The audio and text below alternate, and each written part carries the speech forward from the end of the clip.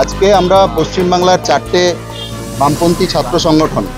AIDSO AISA AISF এবং PSU আমরা আজকে রাস্তায় নেমেছি আপনারা জানেন যে বাংলাদেশে বিগত কয়েক দিন ধরে সেদেশের রাষ্ট্র এবং সরকার সেদেশের একটি গণতান্ত্রিক ছাত্র আন্দোলনে যে ধরনের নৃশংস অত্যাচার চালাচ্ছে এবং অসংখ্য ছাত্রছাত্রী জনতাকে তারা হত্যা করেছে সেই দেশের একটি গণতান্ত্রিক দাবির ভিত্তিতে যে আন্দোলন চলছিল আমরা ভারতবর্ষের ছাত্র সমাজ সেই দেশের যে স্বৈরাচারী সরকার সেই দেশের স্বৈরাচারী সরকার ছাত্র আন্দোলনের উপর যে কায়দায় নৃশংস আক্রমণ করছে অসংখ্য মানুষ সেখানে শহীদ হয়েছেন ছাত্র সমাজ এই যৌক্তিক যে আন্দোলন যে গণতান্ত্রিক আন্দোলন সেই গণতান্ত্রিক আন্দোলনে এখনও তারা সরকারের যে স্বৈরাচারী ভূমিকা তাকে সম্মুখীন করছে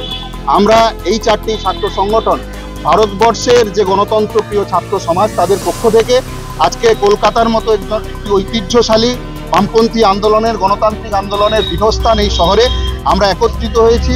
এই কলকাতা সহ পশ্চিমবাংলার বিভিন্ন শিক্ষা প্রতিষ্ঠানের ছাত্রছাত্রীরা আজকে এই প্রতিবাদে অংশগ্রহণ করছে ফলে আমরা চাই যে আজকে আমরা চারটি ছাত্র সংগঠন একত্রিত হয়েছি কিন্তু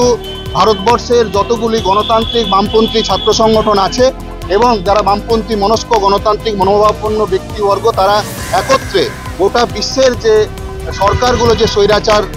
স্বৈরাচারী পদক্ষেপ নিচ্ছে এমনকি আমাদের দেশেও যে সরকারগুলো স্বৈরাচারী ভূমিকা নিচ্ছে তার বিরোধিতা আমরা করছি আমরা দাবি করছি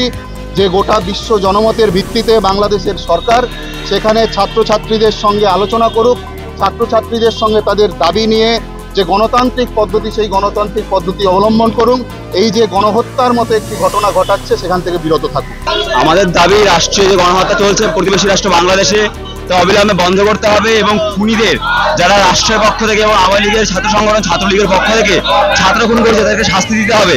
এবং সেখানে কোটা বিরোধী আন্দোলন সেখানে যে মুক্তিযুদ্ধ কোটা রয়েছে তার বিরোধিতায় এবং তাদের আন্দোলনের সমর্থনে আমাদের এই মিছিল যা বিশ্বের চোখে আঙুলে দেখিয়ে দিতে চায় যে বামপন্থীরা পৃথিবীর যে প্রান্তেই থাকুক না কেন তারা অন্যায়ের অবিচারের অত্যাচারের প্রতিবাদে সরব হয় আজকের মিছিলের দাবি এটাই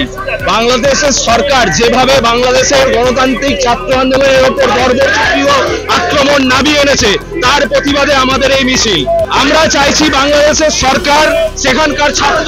ছাত্রদের সাথে কথা বলুক কথা বলে তাদের যে দাবি সে দাবি নিয়ে আলোচনায় বসুক খুনের মতো ঘিন্ন জঘন্য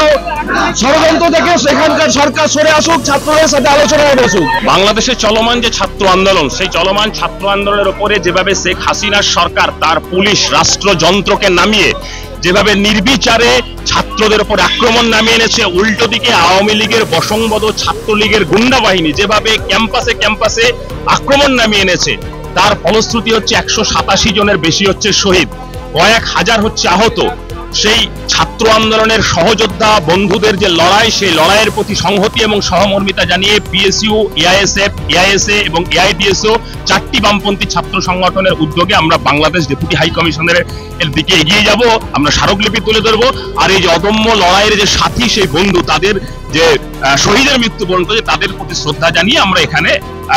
পুষ্পার্ঘ অর্পণ করলাম আমরা যেটা চাইছি সেটা খুব পরিষ্কার আমরা যেটা চাইছি যে আমাদেরই ওই পারের আমাদের ভাই বোনরা আমাদের